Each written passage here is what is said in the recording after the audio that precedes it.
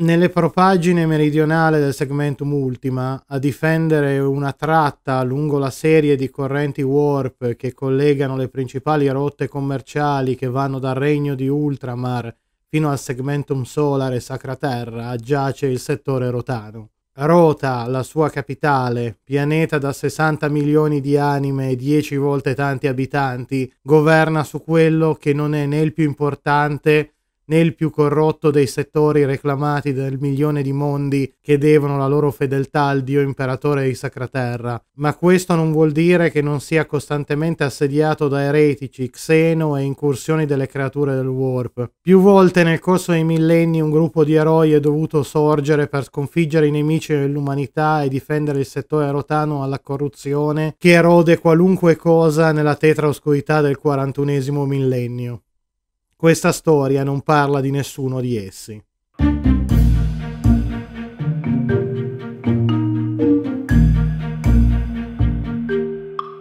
Signori, buongiorno e bentornati sul canale del Master Kai. Io sono il Master Kai, il vostro ospite su questo canale. E questa settimana riprendiamo tutto il discorso che abbiamo fatto negli ultimi mesi sulla fazione dei giocatori PG che ruotano attorno al gruppo dei personaggi giocanti e vediamo di fare un esempio pratico di tutto quello di cui abbiamo parlato. La fazione di cui parleremo oggi è qualcosa che è stato effettivamente utilizzato in gioco. Questi sono una parte del gruppo dei personaggi che ha accompagnato i personaggi giocanti di una campagna che io sto attualmente ancora giocando e che vede gli eroi impegnati a difendere il settore rotano e a capire quali sono i loschi piani dei nemici dell'umanità nel nome della sua Santissima Inquisizione. Con risultati abbastanza alterni, bisogna ammetterlo. Per chi non l'avesse riconosciuta, questa campagna è nell'universo di Warhammer 40.000 e nella fattispecie stiamo usando il regolamento di Dark Heresy, la versione della Fantasy Flight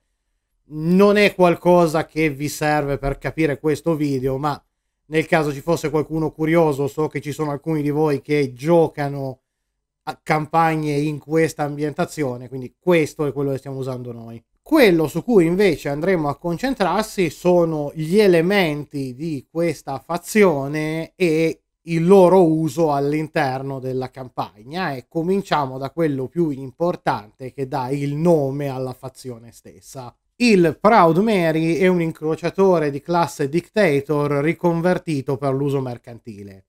Lunga poco più di 5 km con una stazza di poco meno di 30 milioni di tonnellate e un complemento di equipaggio di circa 100.000 persone. Per gli standard dell'ambientazione di Warhammer 40.000 rappresenta una nave di medie dimensioni sufficientemente capace di difendersi da sola la maggior parte delle minacce che potrebbe incontrare è abbastanza agile e veloce da scappare da qualunque cosa non riesca a combattere. Per quelli di voi che si stanno domandando come possa una roba che grosso modo le stesse dimensioni della città di Novara essere considerata agile e veloce, benvenuti in Warhammer 40.000. Il Proud è la base dei giocatori tramite cui si spostano da un pianeta all'altro per compiere le loro varie quest come agenti segreti nel nome dell'Inquisizione, mantenendo la copertura di essere dei semplici membri dell'equipaggio di un mercantile corsaro. Questa è quella che in un precedente video abbiamo definito la casa dei giocatori. Ve lo lascio linkato qua in alto nel caso doveste andarlo a recuperare. Stiamo parlando appunto di cose come questo. Tra l'altro anche in quel video l'esempio era proprio un'astronave. Per essere sicuro che il party si affezionasse a questa nave, che non diventasse quindi semplicemente un taxi che li spostasse da un pianeta all'altro, nel corso della campagna ho inserito varie quest in cui i giocatori dovevano difendere la nave da minacce e potevano recuperare componenti per potenziarla, modificarla i giocatori al suo interno hanno inserito tutta una serie di strutture che sono utili a loro per potenziare i loro personaggi, costruire nuovi oggetti e ovviamente è stata popolata di personaggi interessanti a cui i giocatori potessero affezionarsi. La nave di per sé è stata recuperata dai giocatori stessi in una delle prime quest all'interno della campagna che l'hanno dovuta recuperare da un delitto spaziale, poi hanno dovuto gestire una situazione politica per ottenere un capitano e anche vari altri PNG per equipaggiarla e quindi già questo gli ha dato un senso di familiarità col veicolo che non è semplicemente una nave che hanno trovato, hanno dovuto guadagnarsela e hanno dovuto guadagnarsi anche i personaggi al suo interno. Questi personaggi ovviamente conferiscono vari bonus meccanici, danno delle regole speciali alla nave, ma principalmente sono i volti attraverso cui la nave e il suo equipaggio si esprimono al gruppo di gioco. Con 100.000 persone a bordo è ovvio che citare anche solo tutti i PNG con nome con cui i giocatori hanno interagito nell'arco di anni di campagna renderebbe questo video non solo estremamente lungo, ma andrebbe al di là degli scopi per cui serve. Vediamo però di fare alcuni esempi presi da questa campagna per darvi la possibilità di vedere in pratica come gestirli. Diciamo che voi state progettando la vostra campagna con la vostra fazione dei giocatori e volete usare lo schema che abbiamo illustrato nel video della settimana scorsa. Ve lo lascio qua in alto se dovete andarlo a recuperare. Ecco, con seguaci, alleati e gregari vediamo un po' di personaggi che hanno questi ruoli che sono all'interno del Proud in questa campagna. Probabilmente il più importante tra gli alleati del party a bordo della nave è Sir Gibedia della casata di Clearwater, Lord Capitano e ufficiale comandante della nave stessa. Capitan Clearwater discende da un'antica linea ereditaria di mercanti corsari, senza scendere troppo nei dettagli dell'ambientazione, immaginatevi qualcosa che sta a metà tra un consorzio industriale e una famiglia nobile settecentesca e l'ufficiale comandante della nave ovviamente e in pratica è il proprietario vero e proprio della nave e quindi anche della casa dei giocatori. Non è stato mai chiarito esattamente all'interno della quest,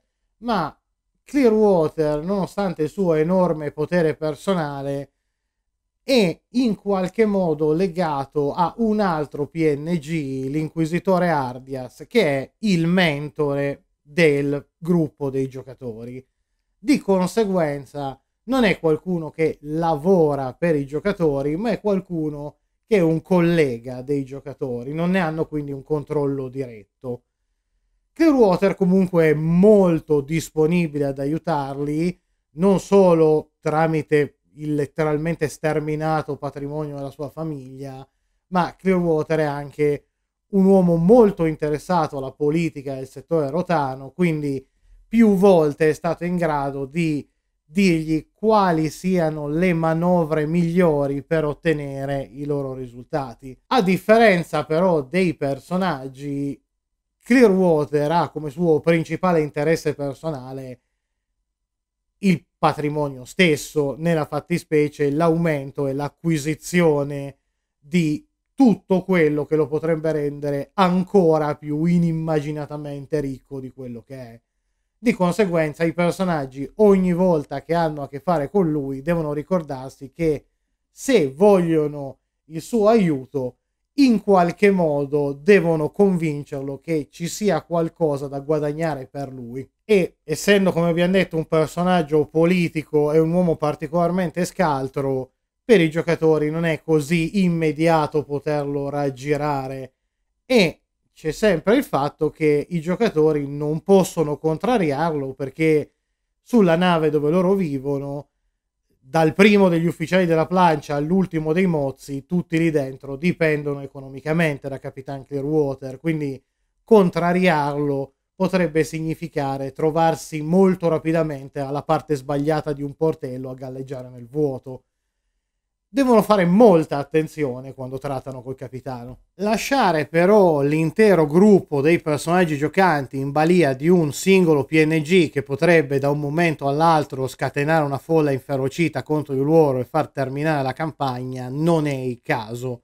Quindi a bordo della nave ci sono anche molti PNG che sono più fedeli al party di quello che lo sono al resto dell'equipaggio della nave e che quindi vanno a formare i gregari del gruppo dei personaggi giocanti. Questi sono rappresentati principalmente dai valorosi uomini del 111 delle forze di difesa planetarie rotanee i guerrieri Mortan. Il 111 è un'unità militare, si capisce dal nome, che il party è riuscito a procurarsi dopo aver stretto accordi con il governatore del pianeta da cui hanno origine e che adesso agiscono in maniera abbastanza informale come mercenari alle dipendenze del party. Il 111 in realtà è un'unità di principalmente fanteria leggera più qualche veicolo di supporto di circa una decina di migliaia di uomini e ovviamente andare a caratterizzarli uno a uno sarebbe stata un'impresa da una parte impossibile dall'altra inutile perché i giocatori non avranno a che fare con ognuno di loro singolarmente.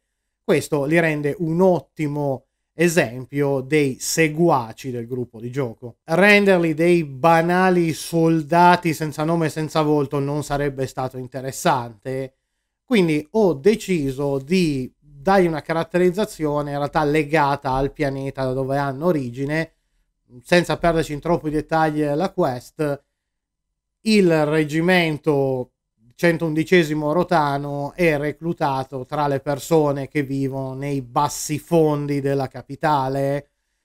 Sono persone dalla moralità dubbia, per molti di loro il servizio militare era l'unica alternativa alla galera, quindi questo rende l'intero reggimento abbastanza ruvido sui bordi, mettiamola così.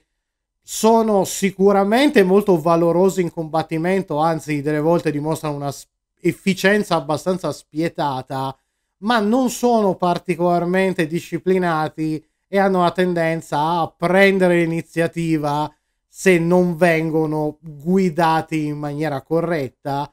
Questo causa anche dei possibili contrasti con i personaggi stessi e rende appunto il reggimento non solo specifico e caratterizzato, ma anche interessante da un punto di vista di storia. Il fatto poi che vengano da un mondo separato rispetto a tutti gli altri membri dell'equipaggio della nave ha dato la possibilità di inserire anche conflitti interni tra i vari gruppi all'interno della fazione dei PNG, perché i soldati rotani hanno usi e costumi del tutto diversi da quelli del resto dell'equipaggio e tra l'altro il contrasto è anche dato dal fatto che l'equipaggio e i soldati rispondono a due catene di comando totalmente separate e quindi non sono effettivamente relazionati tra di loro. Dai ranghi del 111 sono apparsi un bel po' dei gregari del party e probabilmente il più importante, quello a cui i giocatori sono più affezionati,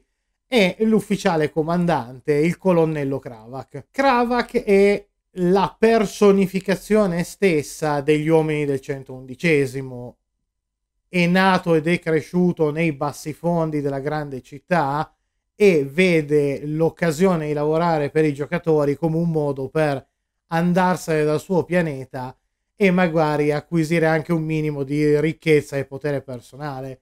Ma è anche una persona fondamentalmente corretta, quindi lui vuole arricchirsi e saccheggiare, ma vuole che anche i suoi uomini abbiano la possibilità di arricchirsi e saccheggiare e non vede di buon occhio qualsiasi cosa possa effettivamente mettere a rischio la sicurezza sua e degli altri soldati se non c'è uno scopo ben preciso dietro. Non è sicuramente qualcuno che si tira indietro dal combattimento, ma se i personaggi cercano di proporgli qualcosa che palesemente è suicida o priva di scopo, è il primo a cercare di evitare la situazione. Ad accompagnare Kravak ci sono gli altri due ufficiali che compongono il suo gruppo di comando e che sono stati caratterizzati prendendo i due elementi fondamentali che contraddistinguono i PNG del 111 come gruppo. Il maggiore Denti